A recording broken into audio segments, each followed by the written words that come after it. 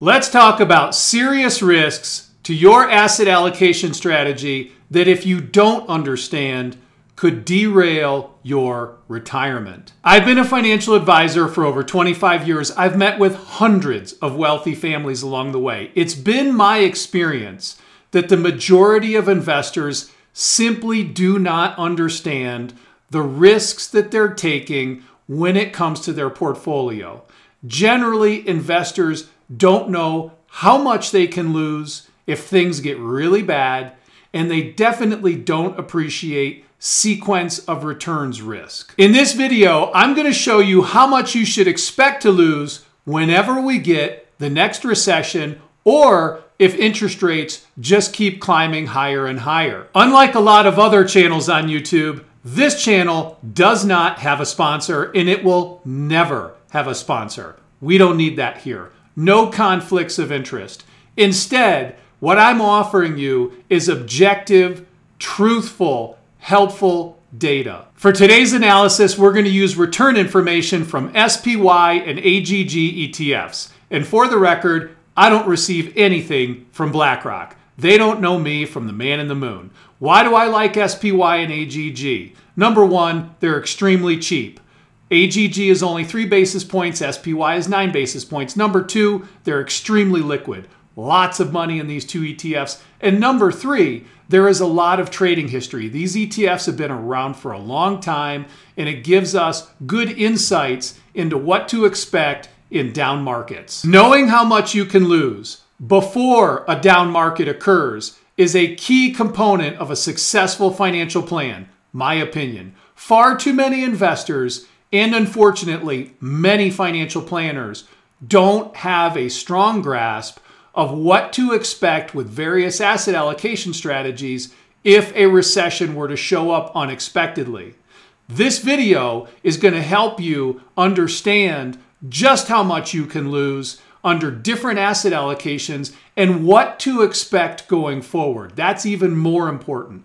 What can we expect over the next 10 or 15 years? I'm going to show you. To help you on your journey for selecting an asset allocation, we're going to have a quick and I promise simple statistics overview with respect to portfolios. What we're looking at here is the normal curve, okay? And your portfolio is going to have an expected rate of return. And then if you look at information on your portfolio, you might see on some of your reports something called standard deviation. It's a measure of volatility. All I want to show you here is that 95% of portfolio returns, historical returns, are going to fall between minus 2 and plus 2 standard deviations, 95.5% of the time. So let's translate that into the S&P 500 and then we'll take a look at different asset allocations so you can get a sense of what does standard deviation mean for different portfolios. Again, I promise to keep this simple. In the last century, the annual return standard deviation for this S&P 500 has been approximately 20, 20%. So let's say that we expect a mean return on the S&P 500 of 10% going forward. If we had 10% is our mean return, then one standard deviation would be 10 plus 20, which is 30. And two standard deviations would be 10 plus 40, which would be 50%. So in a two standard deviation event, the S&P 500 return would be 50%. Only about two and a quarter percent of the time would we expect a return over 50.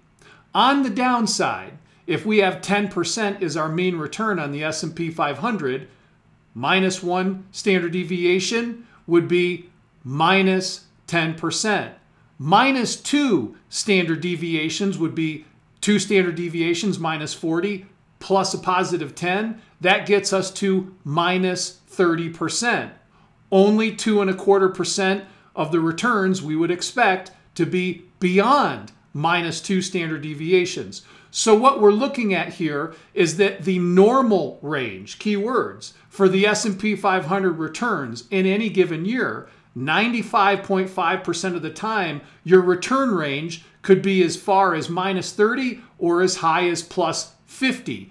let's test that data, that theory that I'm putting out there with the last century of S&P 500 returns. In the last century, there have been only 5 2 plus standard deviation events on the S&P 500 and its predecessor index. 5 years out of 100, 5%, almost exactly what we would expect from the normal distribution. Recall that 95.5% of the time we're estimating in my simple analysis to be between plus 50% and minus 30%. And what do you know? We have five years out of 100 that are beyond plus 50% or minus 30%. The most recent was 2008 at minus 37%. So this approach works to calculating how much you could expect to lose under normal conditions for the S&P 500. Now let's extend this thinking to different asset allocations so that you can get an idea of how much you could lose or make under various asset allocation strategies. Before we look at future expected returns, let's quickly look at losses for SPY AGG portfolios in 2008 and 2022, the worst years in the last 25 years, calendar years. If you had 2080 portfolio in 2008, you lost 1%. That's 20% SPY, 80% AGG. If you had that portfolio in 2022, it was particularly painful for bond investors. You lost 14.1%. 3070 minus 5.5 in 2008, minus 14.6 in 2022. 4060 minus 10 in 2008, minus 15.1 in 22. 5050 minus 14.5, minus 15.6. 6040, 18.9, minus 16.1 and 22. 7030, minus 23.4 in 2008, minus 16.6% in 2022. 80 20 portfolio, a lot of volatility there, minus 27.9 in 2008, minus 17.1 in 2022. If you are planning on a 25 or 30 year retirement, it is very likely that you will see at least two and maybe as many as four events like 2008 or 2022. Therefore, it is very important that you select an asset allocation strategy that you are comfortable with with respect to the downside loss potential. You want to select an asset allocation that has a loss threshold that you feel good about. That matters because all financial planning software assumes you will stay invested 100% of the time and you will not market time. If you want to improve the odds of success for your financial plan, pick the right asset allocation the first time so that when the next recession comes, you will not panic and sell at the bottom like so many people did in 2008 and the spring of 2020. If you do that, if you sell when the market's down, you're going to mess up your retirement plan. It's very important that you stay invested for the duration of your retirement. Now let's talk about how to plan for the future with different asset allocations. What we're looking at here is the risk to reward scatter plot for a range of asset allocations using SPY and AGG. 2080 SPY to AGG, 3070, 4060, 5050, so on and so forth. And on this scatter plot, we have the 10 year annualized standard deviation for each of these portfolios. And for reference, I've put the S&P 500 ETF SPY and AGG on here as well so that you can see a range of standard deviations. As we move from left to right, the standard deviation is increasing as the stock exposure is increasing, and that means we'll have more volatility. Here's an idea of what to expect going forward for different asset allocations using the historical standard deviation numbers. What we're calculating here is a range of return scenario minus two standard deviations and plus two standard deviations for these different asset allocations. I've come up with an expected return column based upon a 7% total return for SPY and a 4.5% total return for AGG. For example, if we look at the 60 40 portfolio and we use the historical standard deviation, we would be at minus 14%, two standard deviations below an expected return of 6%, and 26% top line return, two standard deviations above a 6% expected return. 95% of our return experience going forward is likely to be between these two numbers. A couple other things that I'd like to point out. If you are going through financial planning with a financial planner or a robo advisor, at some point you're going to answer a series of questions regarding how you feel about risk. If you answered seven on a one to 10 risk score, for example, the software would assign you right here to this 70 30 portfolio 70% stock market, 30% bond market. And here is what you could expect for a range of returns. Minus 18 would be two standard deviations down, plus 30.3, two standard deviations up. 5% of the time, we would expect you to be beyond 30.3 or minus 18. You should also know that standard deviations are not set in stone and they change over time. Therefore, these standard deviations that we're looking at over the last 10 years, I think they're a little light. And so for planning for the future, I think it's a good idea to move the standard deviation up a little bit, which will widen out the range of returns. Let's take a look at what I'm talking about. Here is a range of future return scenario that I've developed for different asset allocations using SPY and AGG. The expected returns are the same from what we saw in the previous slide, but I've adjusted the standard deviations up by 1% for each one of these allocations. So we now have a greater dispersion of returns. Our range of returns has grown.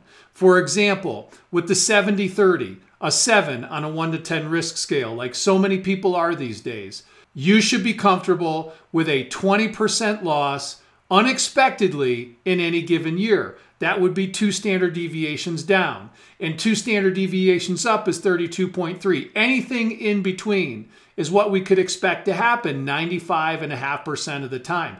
That would be normal. So if you're not comfortable with minus 20, then you're not a 7 on a 1 to 10 risk scale. And that's very important. Put it in your terms also. Whatever your dollar value is for your portfolio, Take 20% off of it, and that will tell you how much you could potentially lose in any one given year if you're a seven. If you had a million dollars, would you be comfortable with an unexpected $200,000 loss?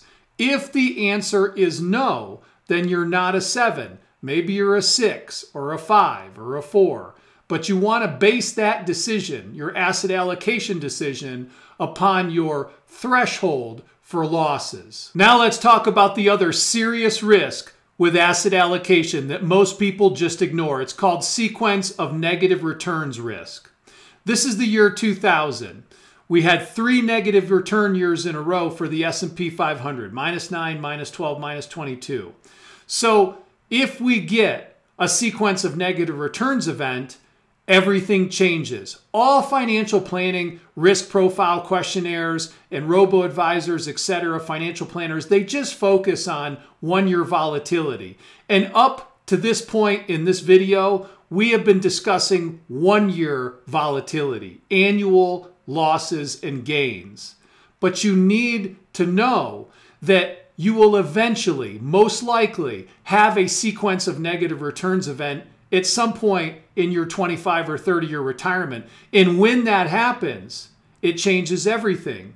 If you lose 9% and then 12%, it's not a lot in any one given year, but when you daisy chain these negative losses, you end up losing a whole bunch more than you ever thought you could. So you need to have this in the back of your mind. Sequence of negative returns event risk is very real the odds of it happening in a 25 or 30 year retirement are very high. If you're planning on a 30 year retirement, your odds are 97%. that there will be at some point in your retirement a sequence of negative returns event. So when you select your asset allocation strategy for your retirement, don't just focus on annual range of returns. If you are merely focused on the potential for losses in one year, and let's say you select an asset allocation that has a downside threshold of 15%, but then you have a sequence of negative returns event and you end up losing 20 or 25%, you're going to be really unhappy. So you want to be mentally prepared for the possibility that something like this will happen at some point in your retirement. And be sure that when you select an asset allocation, you are comfortable with the idea that you may exceed the annual volatility, i.e., you might exceed the potential for losses that you think are the are, are the extreme in any one year. You might go beyond that if there is a sequence of negative return years. Here's the data on sequence of returns risk.